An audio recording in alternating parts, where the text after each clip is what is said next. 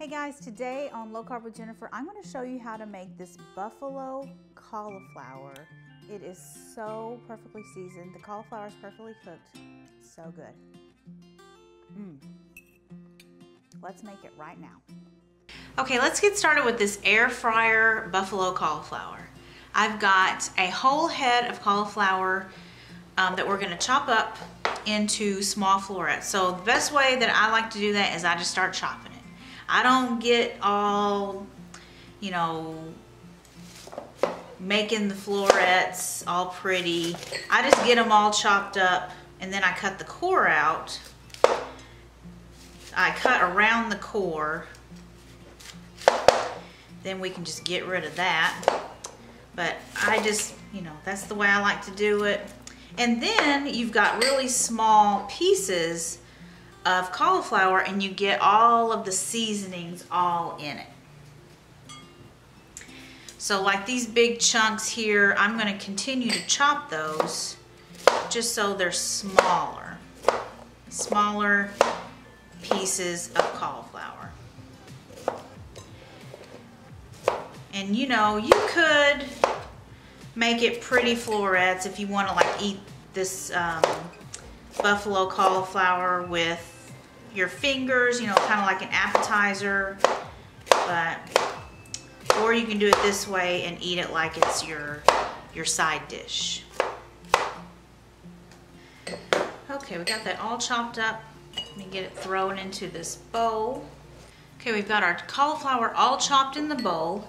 And now I'm gonna season it really, really well with two tablespoons of avocado oil, one and a half teaspoons of smoked paprika, one and a half teaspoons of garlic powder, three quarters of a teaspoon of salt,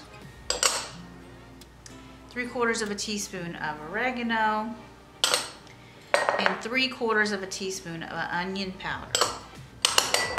So we're gonna toss the cauliflower and the oil and the seasonings all together. And that oil is gonna help all the seasonings stick to the cauliflower.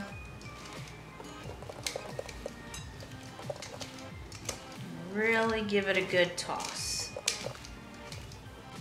So now we're ready to put this in our air fryer. I'm using this Cuisinart air fryer oven air fryer, toaster, broil, convection oven, all that good stuff. So I, we've already prepared this pan. We've lined the, the drip pan with foil just so it doesn't get all yucky. And then we put our basket in and we sprayed it with cooking spray. So now I'm just gonna dump this cauliflower into the, the tray. Spread it out, make a mess. So I know I said this is buffalo cauliflower, but I don't want to put the buffalo sauce on it yet. I like to put it on after we've cooked the cauliflower. So this is ready to cook. I'm gonna slide it in here. So I'm gonna cook this at 350 degrees for about 15 minutes.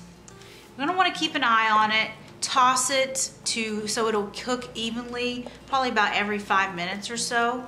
And then when we're done we're going to toss it in the buffalo sauce. So stay tuned for that. Okay our cauliflower is ready and it looks so perfect. So I've got half a cup of buffalo sauce here Frank's Red Hot buffalo sauce. I'm going to scoop the cauliflower out and drop it into my buffalo sauce. So we've got nice, crispy, brown cauliflower. I just think if you cook it with the buffalo sauce, it's gonna be soggy.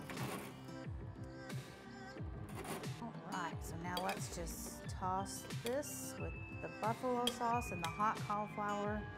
It's gonna warm up that sauce. Mmm.